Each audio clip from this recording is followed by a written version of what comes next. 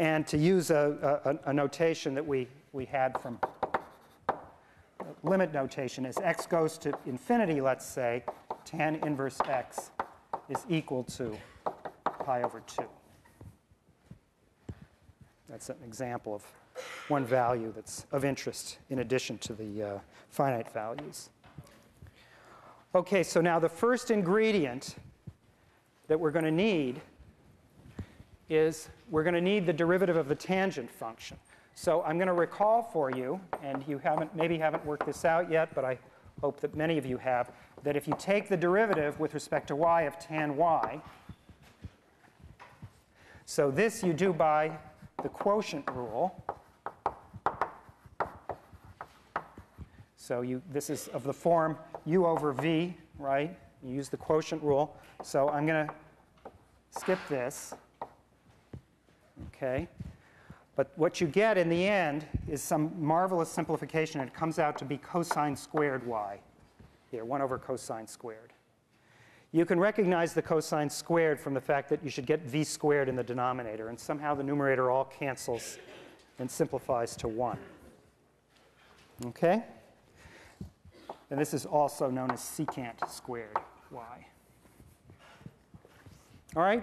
So that's something that, uh, if you haven't done it yet, you're going to have to do this as an exercise. All right. Okay, so we need that ingredient, and now we're just going to differentiate our equation. And what do we get? We get, again, d by dy tan y times dy dx uh, is equal to 1. Or, if you like, 1 over cosine squared y times, in the other notation, y prime is equal to 1. So so right, so I've used, I've just used the, the formula that I just wrote down there. All right, now all I have to do is solve for y prime. It's cosine squared y. Okay? Unfortunately, this is not the form that we ever want to leave these things in. Again, this is the same problem we had with that ugly square root expression or with any of the others. We want to rewrite it in terms of x. Our original question was, what is d by dx of tan inverse of x? Now, so far, we have the following answer to that question. It's cosine squared of tan inverse x. Okay? Now, this is a, this is a correct answer, but way too complicated.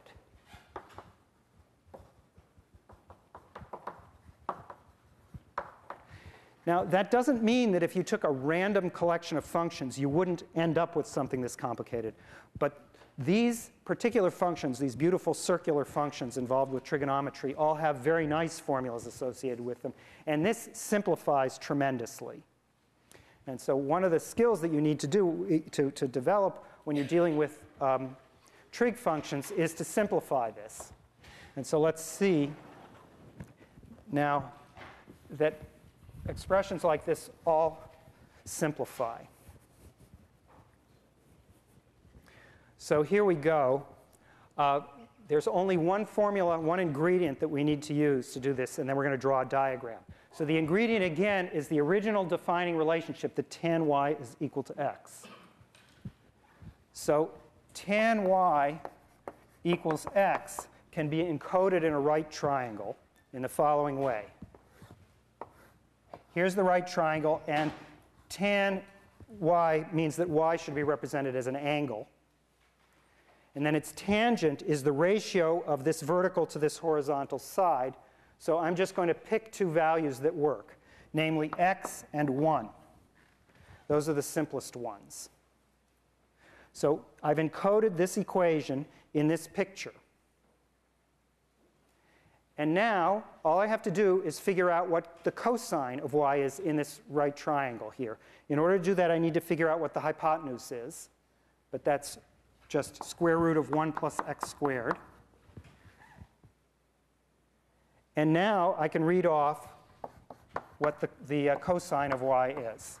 So the cosine of y is 1 divided by the hypotenuse. So it's 1 over square root, whoops, yeah, 1 plus x squared.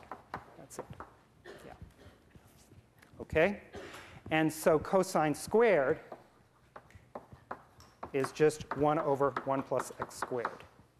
And so our answer over here, the preferred answer, which is way simpler than what I wrote up there, is that d by dx of tan inverse x is equal to 1 over 1 plus x squared.